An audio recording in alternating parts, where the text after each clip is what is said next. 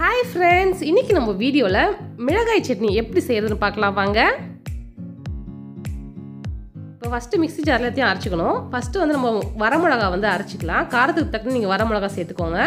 இப்போ வந்து அரைச்சாச்சு. அரைச்சதுக்கப்புறம் ஒரு அஞ்சு ஆறு பல் பூண்டு வந்து உரிச்சிருக்கிறேன். ப்ளஸ் வந்துட்டு நூறு கிராம் வந்து சின்ன வெங்காயம். எப்போதுமே இந்த சட்னிக்கு சின்ன வெங்காயம் போட ரொம்ப டேஸ்ட்டாக இருக்கும். இதையும் பார்த்திங்கன்னா ஒன்றும் பாதியமாக அரைச்சி எடுத்துக்கணும். நெக்ஸ்ட் அதில் வந்துட்டு மூணு தக்காளி. அதையும் சின்ன சின்னதாக கட் பண்ணி சேர்த்து எல்லாத்தையும் அரைச்சிருக்கிறேன் ஃப்ரெண்ட்ஸ் இப்போ நம்ம எல்லாத்துக்கும் அரைச்சிட்டோம். அடுத்து பார்த்தீங்கன்னா கொஞ்சமாக நல்லெண்ணெய் விட்டுருக்கேன். கொஞ்சம் கூடவே நல்லெண்ணெய் விட்டுக்கோங்க. சட்னிக்கு எப்போதும் நல்லெண்ணெய் சேர்த்தா ரொம்ப டேஸ்ட்டாக இருக்கும். ரொம்ப ஹெல்த்தியும் கூட. ஒரு கைப்பிடி அளவு வந்துட்டு கருவேப்பிலை சேர்த்துருக்கேன். நல்லா புரிஞ்சதும் நம்ம அரைச்சி வச்சுருக்கோம் பார்த்தீங்களா அந்த சட்னி இதில் வந்துட்டு சேர்த்து நல்லா வதக்கிக்கலாம். மிக்ஸி ஜார் வந்து கொஞ்சமாக கழுவி ரொம்ப தண்ணி சேர்க்க வேணாம். கொஞ்சமாக கழுவி வந்துட்டு தண்ணி சேர்த்துக்கோங்க.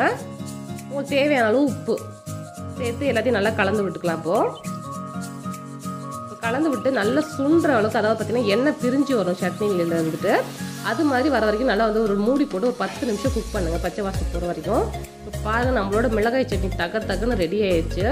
இந்த மிளகாய் சட்னி பார்த்தீங்கன்னா எங்கள் வீட்டில் எல்லாருக்கும் பிடிக்கும் எஸ்பெஷலி பார்த்தீங்கன்னா என் பையனுக்கு ரொம்ப பிடிக்கும். பாருங்கள் நல்லா சூப்பராக ஆயிடுச்சு. இந்த பாருங்கள் இன்றைக்கி எங்கள் வீட்டில் இட்லி மிளகாய் சட்னி. இந்த சட்னி நம்ம ஃப்ரிட்ஜுக்குள்ளே வைக்கணும் தேவை கிடையாது. மூணு நாள் ஆனாலும் வெளியே வச்சு நம்ம சாப்பிட்லாம் ரொம்ப சூப்பராக இருக்கும். ஏன்னா நம்ம நிறைய நல்லது சேர்த்துருக்கோம்.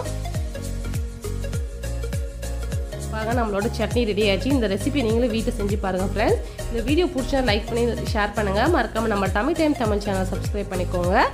கூடவே பக்கத்தில் இருக்க பெல் ஐக்கனையும் கிளிக் பண்ணிக்கோங்க. அப்போ தான் நான் ஃபியூச்சரில் போகிற வீடியோஸ்லாம் உங்கள் மொபைலுக்கு நோட்டிஃபிகேஷன் வரும். தேங்க்ஸ் ஃபார் வாட்சிங்